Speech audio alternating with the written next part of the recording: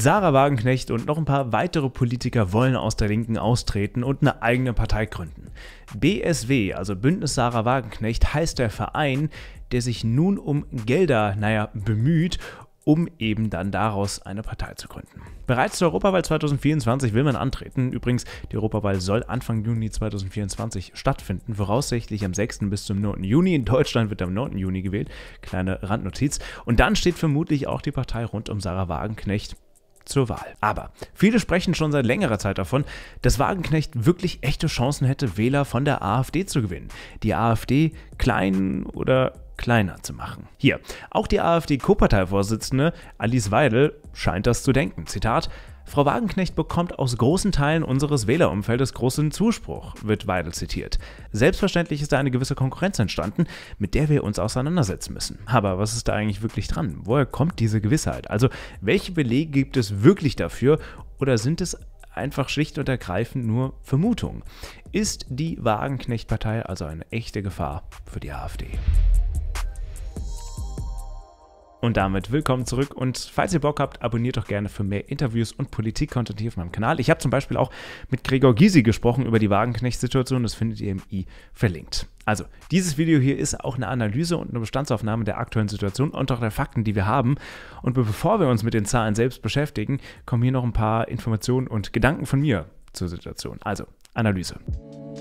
Also, ob die neue Partei von Wagenknecht, dessen offiziellen Namen wir ja noch nicht kennen, wirklich von der AfD im großen Stil Stimmen entziehen kann, kommt natürlich total darauf an, von welchen Wahlen wir hier eigentlich sprechen und vor allem, wo die Wahlen eigentlich stattfinden. Sind es Wahlen in Thüringen oder in Sachsen oder sind es Wahlen beispielsweise auf Bundesebene oder Europaebene? Denn zu den unterschiedlichen Wahlen und Regionen gibt es eben aktuell ein paar unterschiedliche Erkenntnisse oder eben auch gar keine Erkenntnisse. Hinzu kommt, dass in der Vergangenheit, in den vergangenen Monaten, wenn es um eine Neugründung einer Wagenknecht-Partei ging, dass es dabei eben aber immer auch um Sarah Wagenknecht als Person ging und geht. Aber eine Partei besteht logischerweise eben nicht nur aus einer Person. Und bei der Ankündigung dieses neuen Vereines ließen Wagenknecht und Co. bereits auch durchblicken, dass nicht nur Wagenknecht als Politikerin logischerweise auftritt. Ob sie zum Beispiel bei der Europawahl antritt als Spitzenkandidatin, beantwortete sie auch nicht. Also, was ich damit sagen will, ist, dass die bisherige Diskussion um den Erfolg einer Wagenknecht-Partei vor allem davon geprägt war und ist,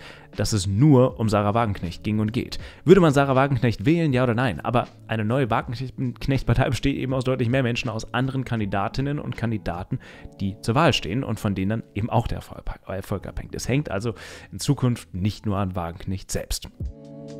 Kommen wir mal dazu, was wir genau wissen. Warum sind viele Leute sich so sicher, dass die Partei eine ernste Gefahr für die AfD sein könnte?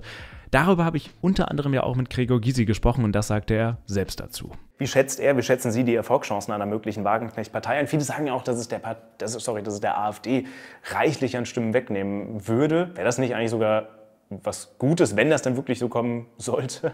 Ja, äh, woher wissen Sie das? Ich wundere mich über das Wissen. Äh, ich kenne nur Folgendes. Söder hat versucht, der AfD entgegenzukommen beim Bayern-Wahlkampf vor fünf Jahren. Und daraufhin ist die AfD gestärkt worden. Man legitimiert damit die Wahl der AfD. Das ist der Irrtum. Auch Sarah denkt, sie addiert. Sie macht Flüchtlingspolitik wie die AfD, Wirtschaftspolitik wie Ludwig Erhard und Sozialpolitik ein bisschen wie die Linke. Und dann meinst du, da kriegst du Stimmen, da kriegst du Stimmen, da kriegst du Stimmen. Meine Erfahrung ist, du verlierst da welche, da welche. Am Anfang, weil die Medien sie so powern, wird das erstmal eine Erfolgszeit werden, so Europawahl, vielleicht auch die eine oder andere äh, Neuwahl in den neuen Bundesländern. Aber ich glaube nicht an 2025. Aber was wissen wir? Kleiner Spoiler, nicht viel. Es sind alles eigentlich nur Fragmente von Umfragen, größtenteils auch nicht repräsentative Umfragen, Politikeraussagen und vielleicht auch Wunsch oder vielleicht sogar auch Furchtdenken. Aber fangen wir mal an. Natürlich ist ein erstes Indiz dafür, warum eine Partei erfolgreich sein könnte, auch wie beliebt denn die Parteispitze ist. Also Sarah Wagenknecht in dem Fall. Und ja, Wagenknecht ist seit Jahren schon einer der beliebtesten Politiker in Deutschland. Das ZDF-Politbarometer veröffentlicht regelmäßig gemeinsam mit der Forschungsgruppe Wahlen die Top 10 der beliebtesten Politiker Deutschlands. Und da steht Sarah Wagenknecht aktuell zumindest mal auf Platz 9.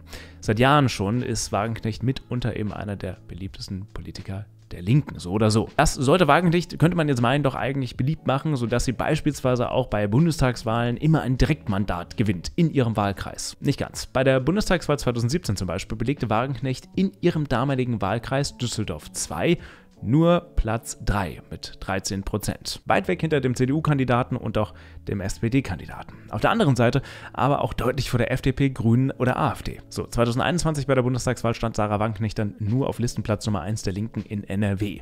Eine Direktwahl in ihrem Wahlkreis gab es bei der vergangenen Bundestagswahl nicht und in den Bundestag kam Wagenknecht bekannterweise auch eben nur durch eben die drei Direktmandate, die die Linke beispielsweise auch durch Gregor Gysi holte. Aber was wissen wir noch? Beispielsweise wurde Anfang 2023 im linken Magazin Jacobin auch eine Statistik veröffentlicht, in welcher ein mögliches linke bzw. Wagenknecht Wahl- oder Wählerpotenzial dargestellt wurde. Und ja, schaut man sich das an, sieht man, dass man im Vergleich sieht, dass Wagenknecht wohl ein deutlich höheres AfD-Wählerpotenzial zu haben scheint, als eben die Linke alleine. Und es geht noch weiter. Der MDR zum Beispiel Ende Oktober 2023 eine nicht repräsentative Umfrage durchgeführt mit 27.000 Menschen aus Sachsen-Anhalt, Sachsen und Thüringen. Dabei kam raus, die Leute wollen, dass mehrheitlich Wagenknechts Bündnis bei der Landtagswahl im Herbst 2024 antritt. Okay, klingt ja erstmal gut für Wagenknecht. Zwei Drittel der Befragten sagten das.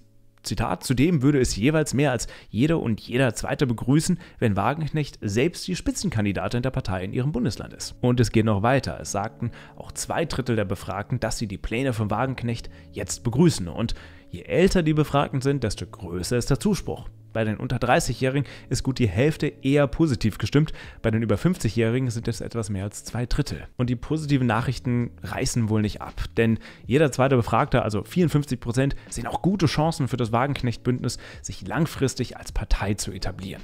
So, das große Problem ist aber, die Ergebnisse der Befragung sind eben, gerade eben schon kurz erwähnt, nicht repräsentativ, wenngleich statistische Merkmale wie Bildung, Geschlecht und Alter beachtet wurden. Außerdem, ganz wichtig, diese Befragung von vorhin, äh, vom Jacobin, aber auch diese hier, das sind keine Wahlprognosen. Sie zeigen, in Anführungszeichen, nur das theoretische Wählerpotenzial. Zum Beispiel gab es auch im Sommer 2023 eine Umfrage, in welcher rauskam, dass eine mögliche Wagenknecht-Partei stärkste Kraft in Thüringen werden könnte. Aber auch diese Umfrage aus der Vergangenheit, das sind Wählerpotenziale. Solche Umfragen, die oftmals obendrauf auch nicht repräsentativ sind, können nur anzeigen, wen eine Wagenknecht-Partei möglicherweise erreichen könnte, wer vielleicht dazu bereit wäre, diese Partei zu wählen. Außerdem, Zitat, Umfragen messen nur eine Verhaltensabsicht zu einem bestimmten Zeitpunkt.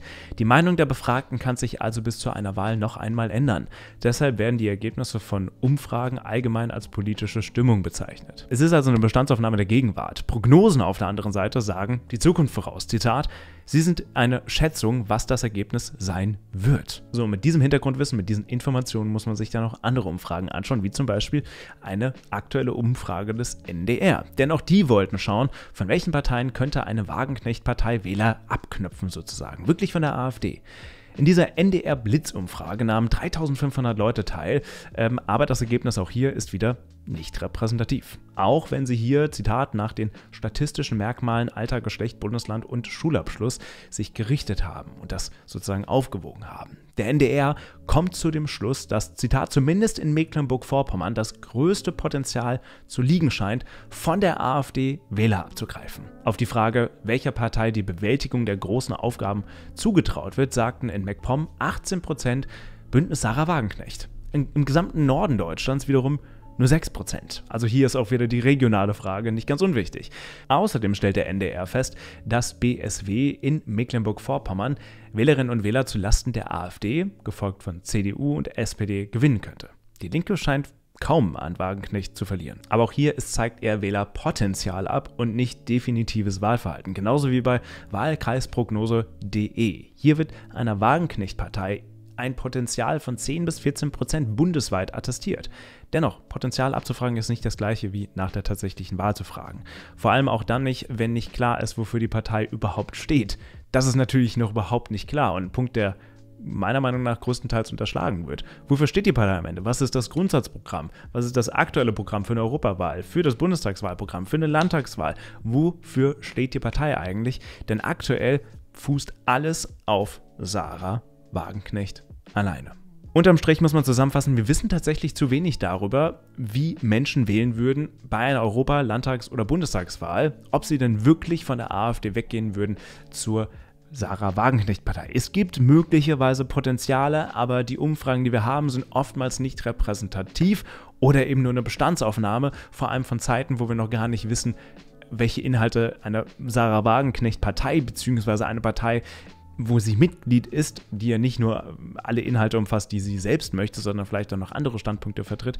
Ähm, diese Umfragen, die, die haben das noch gar nicht eingeschlossen. Also, wir wissen tatsächlich noch viel zu wenig darüber, was wirklich passieren könnte. Und deshalb sind viele Dinge eher Vermutungen und Mutmaßungen darüber, wie Sarah Wagenknecht in Zukunft abschneiden könnte. So, und hier links geht es weiter jetzt mit Gregor Gysi. Schaut euch das unbedingt an.